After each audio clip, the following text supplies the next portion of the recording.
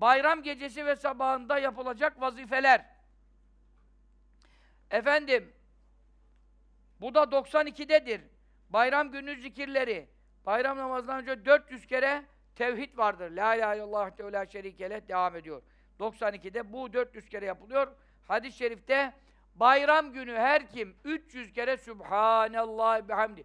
Hoca vaaz ediyor, konuşuyor. Sen o arada çekebilirsin. Hutbe değil ki. Anladım. Sabaha kıldın, şeye kadar hoca vaaz etmiyor mu? O arada zikren, hocayı da dinlersin.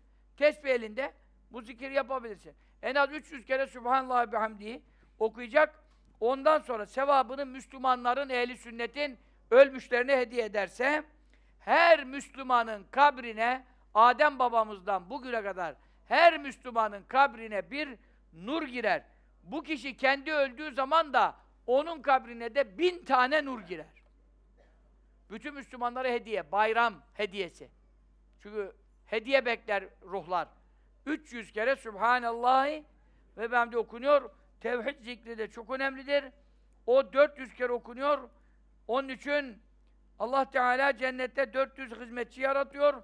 400 köle azadı sevap. 400 köle ne? Bir köle yok ki azat edesin. O sevabı kaçırmışık. 400 köle azadı sevabı oluyor. Kıyamet günü şehirler Allah Teala onun için bina eden, ağaçlar diken melekler görevlendirilecektir. Şimdi bayram sabahının vazifeleri. Bir, zikirler anlattım. İki, tevbe istiğfar. Üç, kurban bayram gecesinde efendim tekbir getirmeler.